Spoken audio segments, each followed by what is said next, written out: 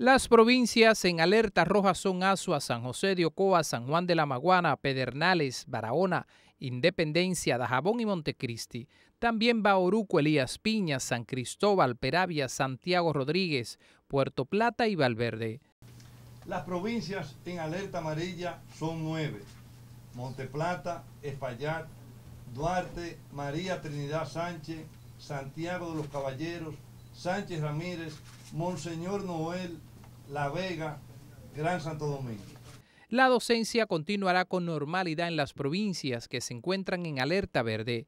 La directora de Meteorología, Gloria Ceballos, informó que el huracán transita en aguas del Mar Caribe, cuyo desplazamiento lo proyecta pasando por el oeste de la isla Hispaniola y va a generar acumulado de lluvias importantes para la parte de Haití y más al sur de la República Dominicana. Ceballos dijo que el fenómeno natural se está desplazando a unos 6 kilómetros por hora y la velocidad de los vientos máximos sostenidos continúan en 200 kilómetros por hora. Si se sigue desplazando a 7, 8, 9 kilómetros por hora, va a estar generando lluvias desde mañana hasta el miércoles eh, lluvias de consideración. Las autoridades esperan el desplazamiento de 500.000 personas y el gobierno cuenta con 3.261 albergues con capacidad para más de 825.000 ciudadanos.